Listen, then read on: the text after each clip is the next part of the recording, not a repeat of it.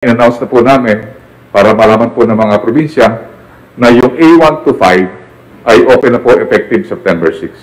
So yung mga nasa, nasa ano po, nasa mga barrio at saka mga nasa ano po, probinsya outside of NCR, even though they they don't have the surge, ay pwede na po magbakuna ng 1, A1 is A1 to 5 po. So ito po yung darating na mga ah, bakuna sa atin po ngayong September.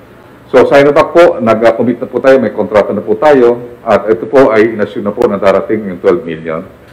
And then yung Pfizer, ito po yung ating procured ah, na, ah, ah, na 40 million.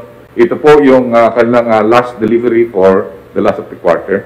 At ah, sa darating po mga buwan, 10 million each na po ang ah, bibigay po nila. And then Moderna, uh, nagkaroon po tayo ng uh, negotiation and also the follow-up of DFA uh, at saka po ni Secretary Renzana at saka ni Ambassador Daves uh, Romualdez, uh, tatasan po ng from 3 to 5 million. And then as a Seneca, meron na po tayo na receive kanina na 500,000 at may darating pa po na 600,000 coming September 13. And then Sputnik, at uh, yung po Sputnik, nag, nangako po sila na magbibigay po ng 1 million. And another donation most likely sa Japan, sa Japan another AstraZeneca 1 million.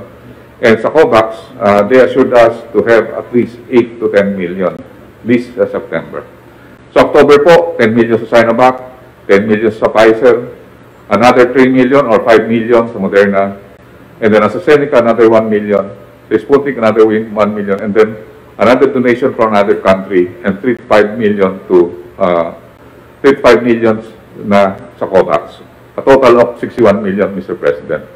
At yun po, pagka nakita po natin na yung 61 million po na yun, ah, pwede na po tayo siguro kung dumating yung 61 million, pwede na po tayong magkaroon ng tinatawag na ah, expecting na general population na po tayo this coming October.